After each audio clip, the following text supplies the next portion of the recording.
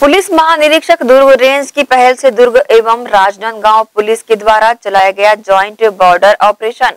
सड़क किनारे खड़े ट्रकों, होटलों, लॉजों व ढाबों में ये चेकिंग अभियान चलाया गया।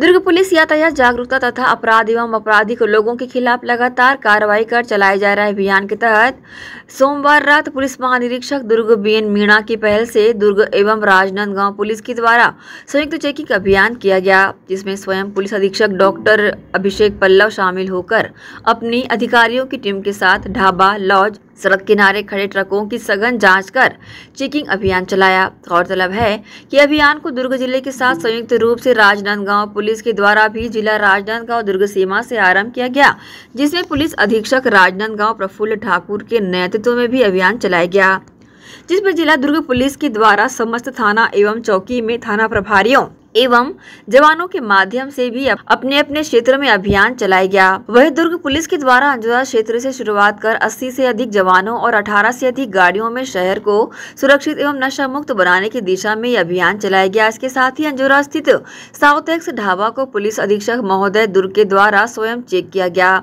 साथ ही Rajputana Dhaba, the Circle Lodge, Prince Dhaba, Durgesh Dhaba Inder Dhaba एवं अन्य ढाबों को चेक किया गया। ढाबे के सामने ट्रक चालकों को भी पार्किंग स्थल पर ट्रक खड़ा करने एवं ट्रक साइड में खड़ा कर इंडिकेटर एवं रिफ्लेक्टर का उपयोग करने समझाइश दी गई। इस संबंध में दुर्ग पुलिस अधीक्षक डॉक्टर अभिषेक पल्लव ने मीडिया के समक्ष इस तरह की जानकारी दी। आज inter district border Durg, Rajnandgaon border से दोनों की ज्वाइंट टीमें थी। दोनों ज़िले की टीमें पूरे ज़िले भर में जितने ढाबा हैं वहाँ पे चेकिंग किया जा रहा है तो उनके द्वारा इलीगल ढंग से कहीं शराब तो नहीं खोलता जा रहा है। जो ट्रक ड्राइवर रुकते हैं, जब वो निकल रहे हैं तो उनकी ड्रिंकर ड्राइविंग के लिए अल्कोहल ब्रेथ एनालाइजर से चेक किया जा रहा है। क्योंकि आने पिछले समय में देखा गया कि रुके ट्रक से, रुके गाड़ियों से या बड़ी गाड़ियों से टकराने से काफ़ी जाने गई हैं।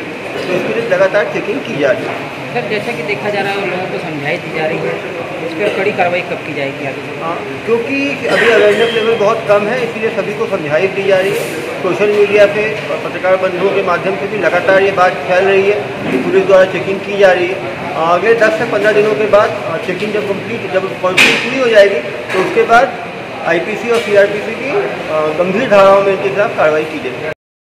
ग्रैंड न्यूज़ के लिए दुर्ग से नसीम फारूकी की रिपोर्ट।